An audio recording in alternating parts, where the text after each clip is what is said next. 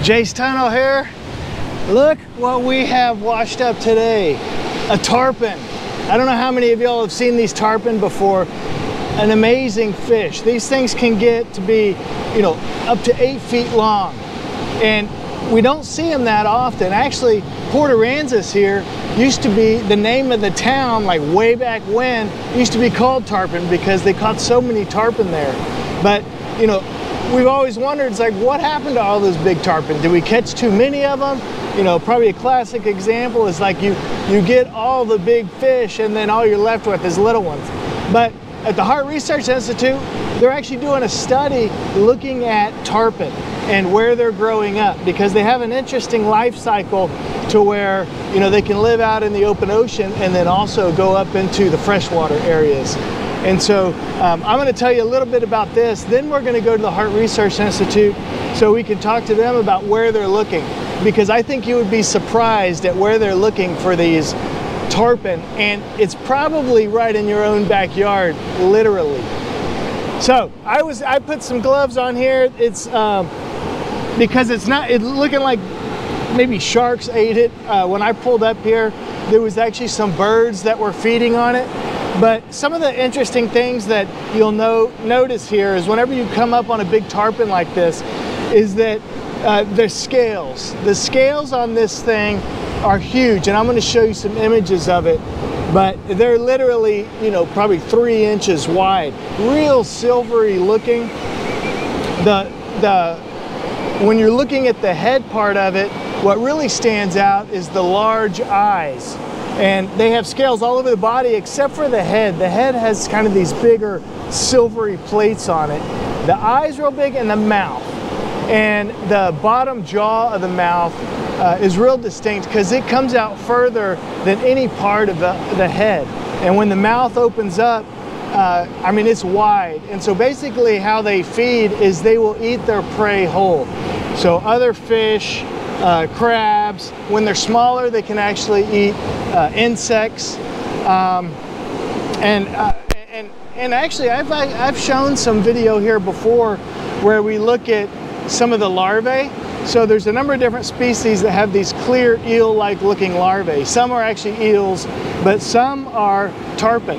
Uh, some are ladyfish. Uh, so I'll show some of that video here.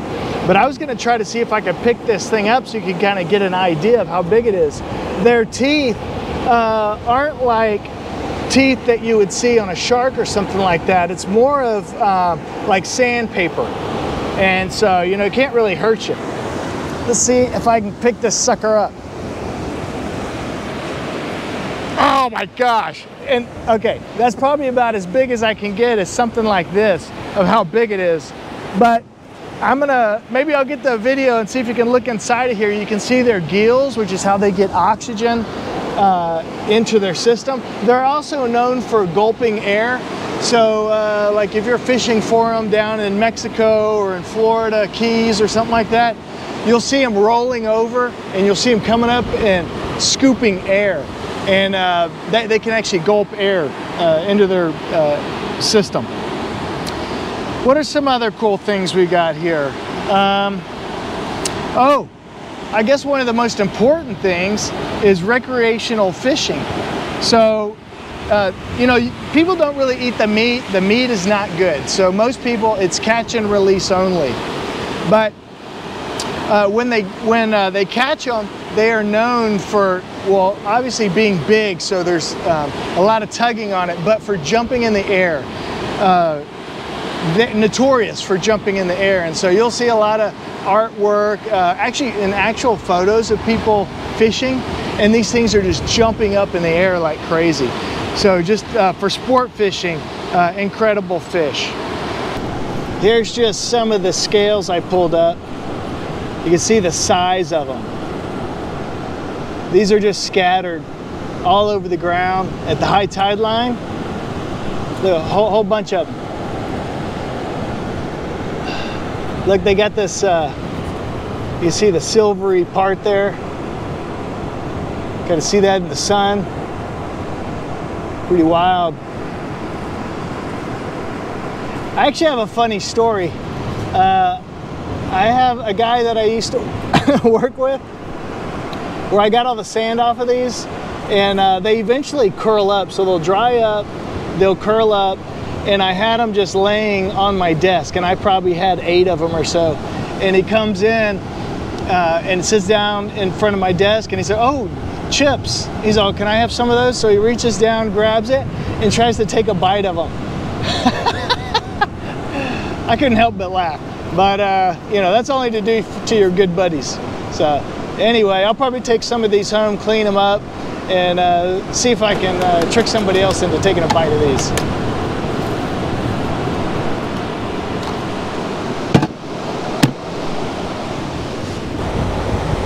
Yeah, they've got a big, uh, on their dorsal fin, this long spine that comes off of it. That's pretty common. That's a good way to tell uh, the species as well as their anal fin here also has a spine that comes off of it. And then the forked tail. So a real nice uh, forked tail swimming, for swimming.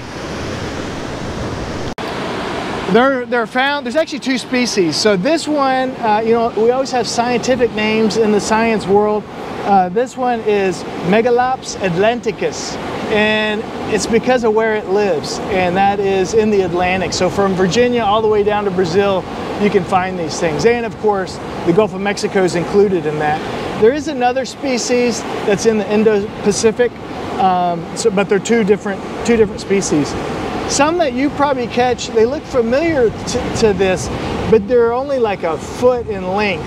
And they're, they're a lot of fun to catch too. It's the ladyfish. It basically looks like a baby tarpon. Um, but okay, I've told you enough about this. Uh, let's head on up uh, to the Harte Research Institute and talk to them about the tarpon research that they're doing right here in the Texas coastal bend. Okay, so we're off the beach now and we're at the Harte Research Institute. But instead of going inside like we normally do into the laboratories and stuff, we're actually gonna get to go out in the field with the fisheries group at Sportfish Center, and they're gonna show us the type of sampling they're doing for tarpon up in these creeks around Aransas Pass, places where you would not think that these fish are living. And uh, so let's go check it out. Okay, so they're loading everything up and then we're gonna be heading out to the field to get some samples. My name is Isabel Tiller. I'm a master's student at Texas A&M Corpus Christi with the Sportfish Center. And uh, my master's project is looking at juvenile tarpon and snook habitat um, and general ecology. And right now we're tarpon seining. Okay, tub.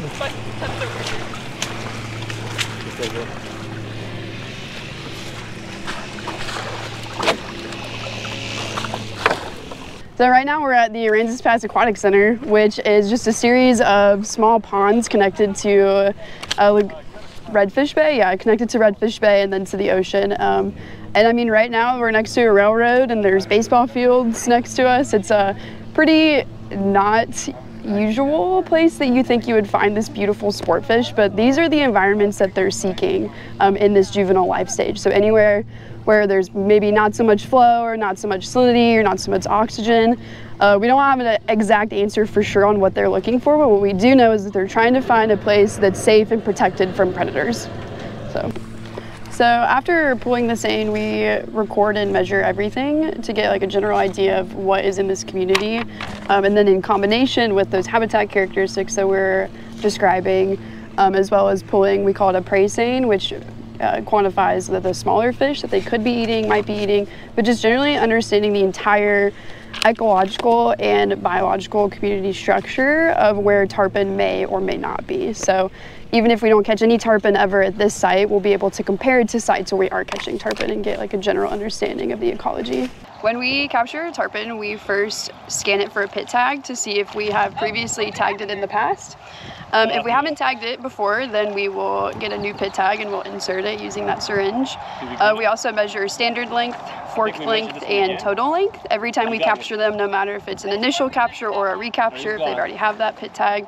Um, and then we take a fin clip for genetics. So it's kind of like clipping your fingernail. It causes no harm to the fish, and then that's how we can figure out uh, like where it's been and who it's related to and all the genetics part of it. So that's it. Awesome.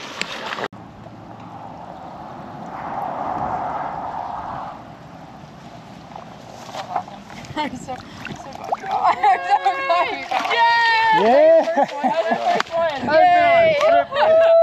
See, we knew there was something. That was worth it. that was awesome. Way to go. Now, how amazing is this project where they're actually trying to figure out where tarpon are growing up, uh, where they go uh, after they're, you know, juveniles and then turning into adults, and being found right here uh, in Aransas Pass in these ditches that ultimately lead to Aransas Bay. That's pretty wild.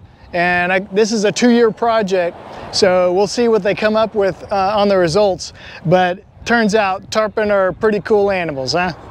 Okay, well that's it for this episode of Beachcombing. I guess we'll catch you on the next one. Bye.